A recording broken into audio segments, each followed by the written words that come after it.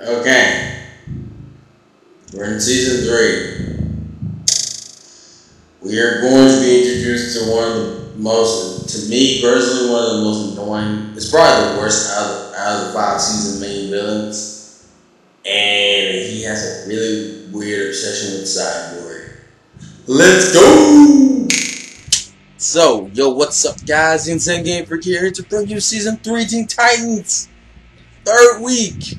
We going in. We going in. So yeah, what's up, guys? Uh, it seems like you guys are really enjoying this, so we're just gonna keep on going with it. When I won't wait. Um, so let's talk about season three and let's get into it and explain some things.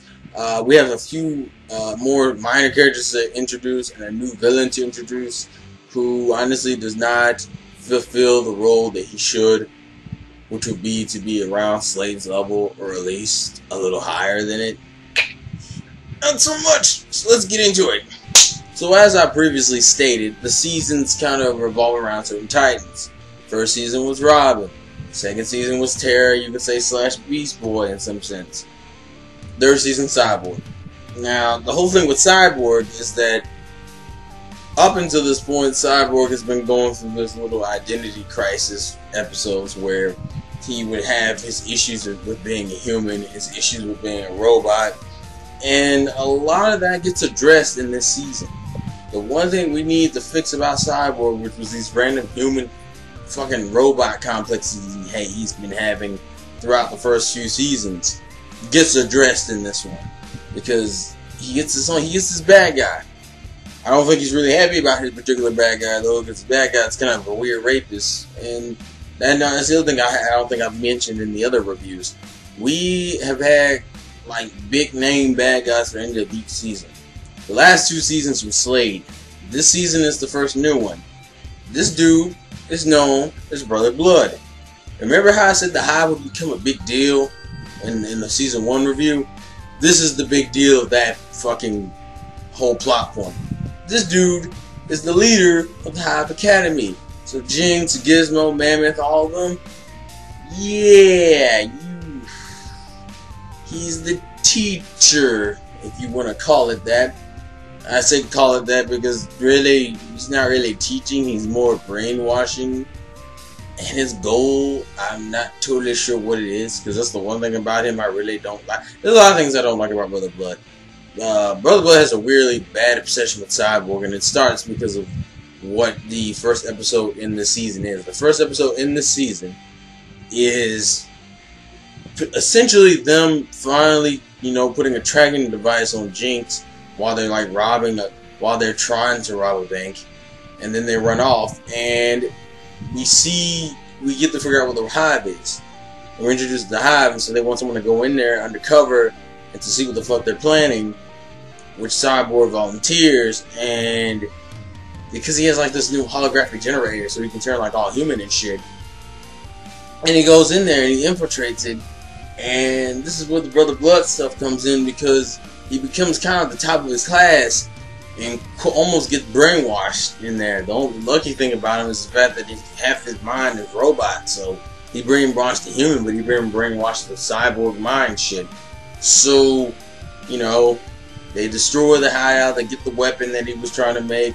Everything's cool, or so we think, because Brother Blood is actually very he's he's, he's, he's kind of a mixed bag as a bad guy. He has his moments because he manages to hack into Cyborg while Cyborg was trying to hack into the thing to figure out what he was stealing. And let's just say, from that kind of breeds a whole bunch of shit relating to Cyborg's blueprints. And his relationship with Brother Blood is like ridiculous now because this motherfucker keeps fucking with him. And the problem with fucking Brother Blood is that Brother Blood is really obsessed with Cyborg because Cyborg is the only character well, not the only character, but the only dude to continually resist him. There's another also. It's also to mention that we also reintroduced the Aqualad into the season because of situations happening with Brother Blood. Um, I guess I should start talking about the side characters. Now we've already been introduced to Aqualad, which is kind of like Beast Boy's mini rival. Uh, we know Speedy, who comes back in this season, who was kind of bullshit introduced in the uh, winner take all episode, the filler episode when they get like transported to like a whole bunch of heroes get transported and shit, and some villains, and they get transported to like this battle royale shit. We're introduced to Speedy there. He's returning, and we're also introduced to a few new characters. One of which tempted me as a fanboy because I am a hardcore Raven fanboy, I, as I've already previously stated. But Bumblebee, hot damn. That's all I gotta say. That's all I gotta say. Hot damn. and she is a part of the new pairing that we get this season two. Cyborg X Bumblebee. I'm fine with that. And this next comment may be a little racist. I apologize for future gents, but black, black love. Cyborg, you got good taste in women, dog. And she tempted me. She tempted me like a motherfucker. also, another new character, or characters, I guess I should mention, would be the Mas y Menos brothers. I guess is the best way to put them. They're pretty much these two little kids. One is like plus on his chest, the other one has minus on his chest. They're twins, and their whole power and shtick is is that as long as they're touching, they're like fucking Flash. They're just really fucking speedy and shit. Um, Bumblebee's whole thing is that she has like these quote unquote stingers that she can shot people, and she can shrink in size for whatever reason. I'm figuring it's because of the whole Bumblebee thing. And I don't need to really explain, but I haven't explained Speedy to you guys in video form. Speedy is the dude, pretty much, who has a whole bunch of different weapons in, in, in the form of arrows. Boxing gloves, explosions, freezing weapons and shit. And Aqualad can control the water and talk to fish. Those are really all the main new characters you really need to deal with because we've already been at this point you've seen the Hive most of the Hive characters anyway. And Brother Blood is kind of the reason why I don't like this season that much. Now, most of the episodes are fine, but like I, I would say, out of out of every my least favorite episodes in the season, um, I won't say is the actual, you know, the plot driven ones, but those weren't as good as the old ones. Like you had the Apprentice and Aftershock, and this one you have Titans East, which deals with you know, actually those new characters I mentioned, Speedy, Bumblebee uh, Aqualad, Mas y Menos, and shit. They uh, they're chasing Brother Blood and to uh, uh, Titans East, well actually East City, and Cyborg is sent is called to go over there and help them build a tower out there. And the whole stick with that really is is that pretty much what it is is that he he gets offered to stay there as a leader of the group and it kind of puts a whole bunch of strain on his relationship with Robin in there, which you you kind of seen in and out of this season already. And then this whole thing about him being a man and him feeling like he's like he's accomplishing something, kind of like some. It's kind of like a, kind of a pride thing with him, somewhat. And you see that relationship kind of go through as the season. I mean, as the season progresses and shit. But there's the one thing about the, the, this two-parter that I hate. There's one fucking thing I cannot stand there's a scene, a very famous scene from season 3, where Cyborg and Brother Blood are fighting. And up to this point, we've kind of guessed that Cyborg is getting his ass handed to him. Actually, the entire season, for the most part, Brother Blood was whooping his ass. Brother Blood kind of gains an insane advantage on his ass by I don't know I don't know what's the best way to put it cutting off his fucking arms and legs and shit, and then catching all of his friends because of something crazy he does to himself and within these two borders. But that's not what pisses me off. What pisses me off about this particular season is that when he freaks out and he grabs fucking Cyborg's core and shit, and he's like, what is in there? What is in your blueprints that makes you able to resist me? And he's like, It's not the blueprints, is it? It's me, my spirit. And then he pulls out this most hexed out, ridiculous ass situation where essentially what he ends up doing is he ends up fucking. What's the best way to put it? He pretty much becomes God for like 10 seconds because he fucking takes. He ends up like reforming his entire body for no goddamn reason. And then proceeding to kick brother's brother Blood's ass by like out of nowhere. Mind you, this entire fucking season, we've seen Brother Blood kick Cyborg's ass for the majority of the time. Of those fights, anyway. And he just kicks his ass. He breaks, uh, he breaks both of his hands, and then he proceeds to kick the shit out of Brother Blood. And this comes from his human spirit. Now, the way the cartoon quote unquote explains it is that Brother Blood was trying so much to hack into Cyborg that Cyborg hacked into him, which for whatever reason allows him to steal mechanical parts from some of his minions and reform his fucking body and glow blue and fucking come out of nowhere and beat the shit out of him. The reforming body shit is ridiculous in itself, but the fact that you have him do that on top of the fact that you have him get ridiculous, that for all of a sudden he can catch Brother Blood's punches and break his arms and shit, and then kick the shit out of him when he couldn't even land hits up until that point. That's that's just a little ridiculous to me. This, this is one of the main reasons why. Plus, that fucking Brother Blood's just way too obsessed with with with Cyborg. Like even Slade wasn't that obsessed with Robin. I mean, obviously he, he switched gears in the course of a season. He went from Robin to Terra.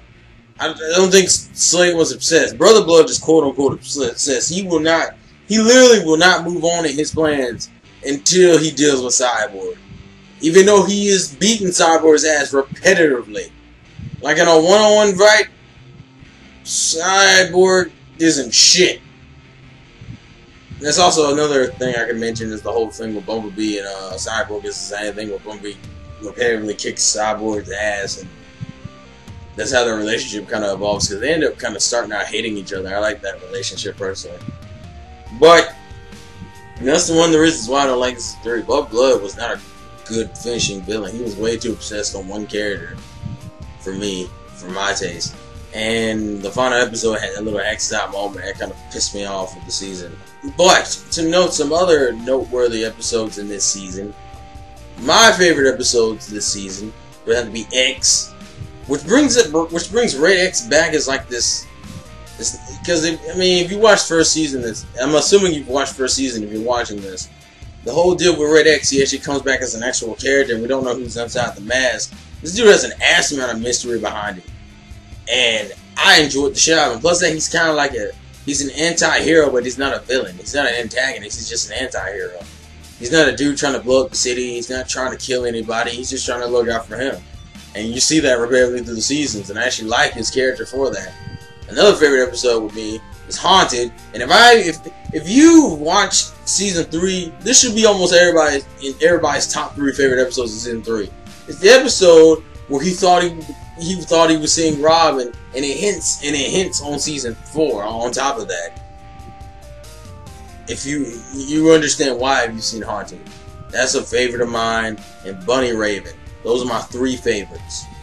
Bunny Raven because I have a have a obligatory Raven episode in there. There's uh, uh, other noteworthy ones would probably be Betrothed, which is the episode Starfire quote unquote gets married, and the Beast Within which kind of promotes Raven X Beast Boy, even though I don't really care for that pairing that much. I see it, I see hints of it, but I don't really care that much. And it also brings out uh, new Power Beast Boy games that we only see maybe once after this, and it's in season four.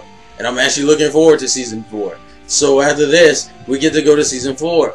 If I had to say least favorite episodes for this season, though, it probably be. I'm looking. I'm like I'm looking at the. I'm rocking the wiki while I'm reviewing. I would say my least favorite episode of season fucking three would probably be either Spellbound or Crash. I'm leaning towards Spellbound because by the end of Because I feel like Raven was way too fucking naive and spellbound, and it really pissed me off. It also is another episode that promotes Beast Boy X Raven, which kind of irks me. But don't fuck Malchior with a with a giant stick. Crash I can kind of put up with a little bit more. Spellbound wasn't that huge of a fan of. This is a good episode. I just was not a fan of having her be that goddamn naive about it. Can I keep him? Meh, meh, meh, nah, nah, nah, nah. But wow, this review has actually gone on longer than the other ones.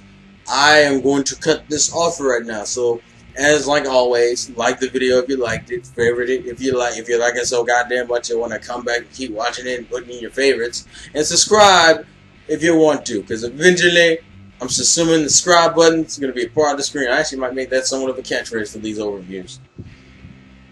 Um, put your comments and your video responses are always motherfucking welcome. Tell me your favorite episodes. Tell me how you feel about the hack shit with Cyborg and the Titan East, episodes part one, part two, which is the final, which is the whole thing. How you think of Brother Blood as a villain? Throw out your thoughts, throw out your opinions. Let me know, sons and daughters. Yeah, that doesn't sound right. Yeah, I'm gonna. I'm gonna go. Life's a game, play to win. Um, out. Peace.